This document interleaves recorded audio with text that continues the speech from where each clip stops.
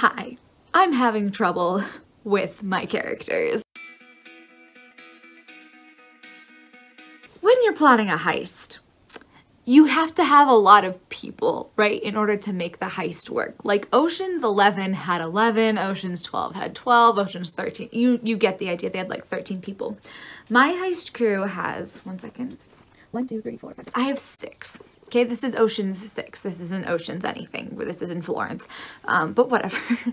and I am having a bit of trouble. I know who they are, but I'm having a bit of trouble making sure that they are distinct. So I know their roles in the heist. I know who's the brute and who's the techie person and who's the smooth operator and who's the inside man and all that stuff. But in terms of ensuring that they have, you know, diverse personalities, I am having trouble with that. And so I decided to go back to Brandon Sanderson's plotting um, lectures and story lectures, how to write a book lectures. And lecture, I believe it is 9 and 10, are all about character. And the very first lecture, he goes through um, a couple things. He says that basically his characters, he likes to concentrate on differing their levels of likability, proactivity, and competence. Hi, I realized as I was editing that I did not do a very good job of explaining those things. So basically these three pillars are like three scales. You can imagine sliding up, sliding down, and your characters can change on where they are on them throughout the story. So likability is how much empathy you establish for the character. And Sanderson says you establish empathy by making them nice, by making them like us, so normal, relatable human, and by showing people liking them. Their proactivity is their motivation and what they're doing to achieve that motivation, or how motivated they are and how much they're really going after that motivation. So um, that's like establishing a rooting interest, giving the character a want that's interesting to us, and then having them act on it. And then competence, the third one, is where they are on that progress scale of getting better at what they want to do. In Harry Potter, Harry starts out as like not a good wizard and ends up being like a, you know, nah, wizard. um, in um, the Hunger Games, Katniss is like really good at her bow and arrow the whole time, but she grows more competent at kind of fooling the Capitol over the story, so her competency there changes. So that's that's what that is. Characters can move on any of these scales, and that movement creates a sense of progress in the story.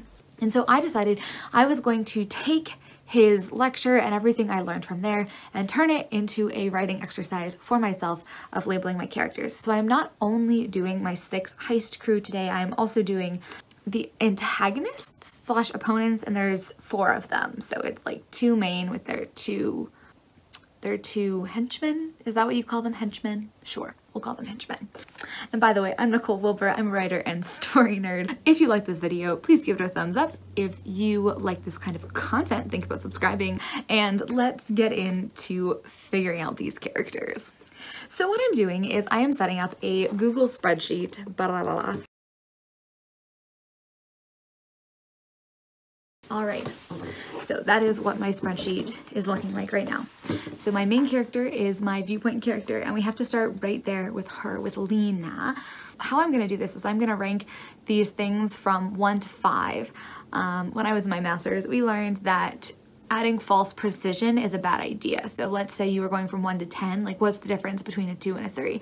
Is there really that big a difference? No, there's not. So I'm gonna go from one to five and I'm gonna say Lena's likability is a solid three. And that's not really gonna change. Like proactivity, okay. So this does get complicated because in terms of her wanting to succeed at the violin and succeed at school and stuff, she's very proactive. She's running this cheating scheme, whatever. But in terms of her like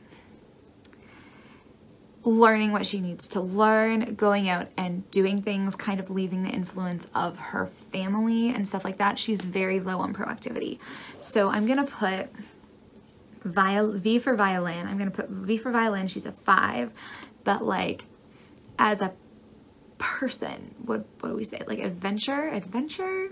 Um, I'm gonna call, I'm gonna say it's C. C for carving her own path. So in terms of that, she's maybe at a two because she is running the cheating scheme. So then at the end, her proactivity with the violin is like a little bit lower just because of like shifted priorities a little bit. So we're gonna say three and then her carving her own path is maybe now at like a four. Yeah, okay, cool. Competence, she's very good at the violin. That stays the same the whole time. I don't feel the need to note it. Um, competence as like a lawbreaker, heist, thief person. Um, I don't think there's a, like, it's not like a learning plot. There's not like a big training plot. There's a little one, but it's not huge. Hmm, I could make that more a part of it, but I think she probably goes from like a two again because she's a two because she's running this cheating scheme to maybe a four. So her competence changes. Okay, that was a lot for just one character. Let me do the rest of the spreadsheet.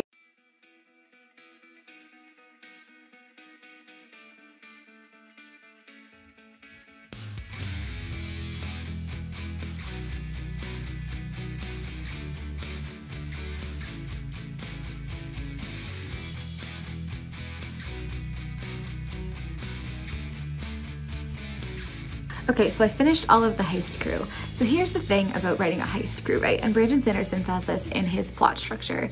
You know, when you don't watch Ocean's 11 or whatever to see people have these like great arcs, right? You're watching like very competent people doing very cool things as they like snip at each other. This story is a little bit different. I do have arcs with my main characters, um, but the heist crew is, they're like secondary characters, even though they're there a lot, they're not like the main ones. But pretty much all of them are just like very proactive, very competent. I think it would be funny if Clark is like not quite as good as he thinks he is at being competent. I describe him in the book as a black Elton John, um, who's just like, he's like ritzy and he just walks around with lots of wine and he, um, he you know is is a little bit distracted he, he's italian too um and he's a little bit distracted but like going on dates and stuff in the middle of the heist and he, he's funny. I don't know, I like him as a character. So he's a little bit lower on competence, but everybody else is a five and then only one of them is really gonna change in terms of likability and that's Sibby um, and Maisie. And honestly, that's just because like they get to know them better. So then we get to the antagonists.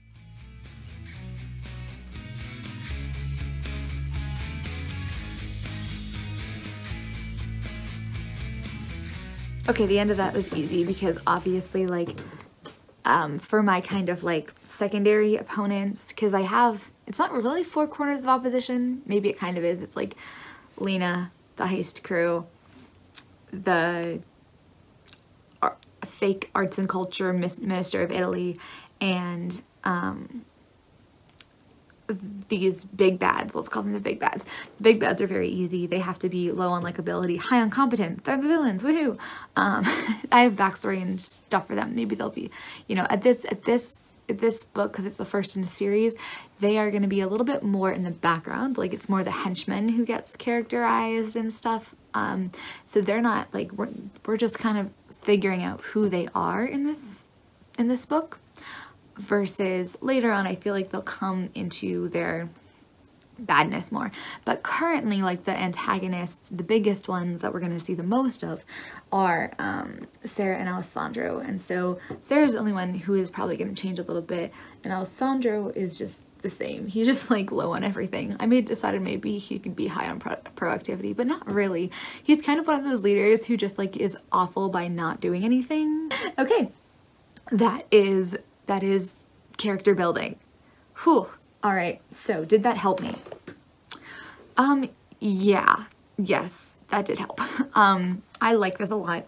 I've been struggling so much with Lena, the main character's character change in this book.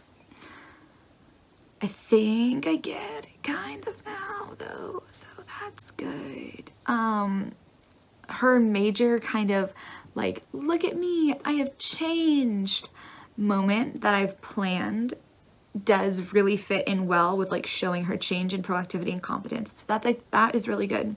This is very different than like Anatomy of Story with like the weakness and the need, um, especially the talk of like moral weakness and need. I don't know where that would necessarily fit into this like, three tier, three pillar model. However, I do have to say like as a base, it's very helpful for charting where the characters start and where they end and kind of getting those contrasting characters. Like the reason I was like, okay, I think Clark should be, you know, like a not proactive and a three on competence who thinks he's a five because everybody else is just like a five on competence and that's kind of boring, right? For everybody to all be the same. So it kind of helps me see like, oh, I need more variety here or there.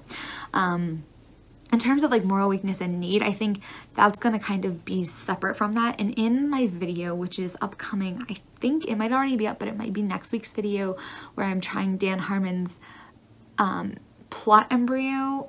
Also, Rachael Stephen has a bunch of videos on that, so I'm trying that for the first time, applying that to my story. And I already kind of have an idea of where the moral weakness and need is fitting in versus where the proactivity and competence is fitting in. Um, so yeah, look out for that. Whew, okay, that was a lot. Thank you so much for watching. I really appreciate it and I will see you next time. Bye-bye.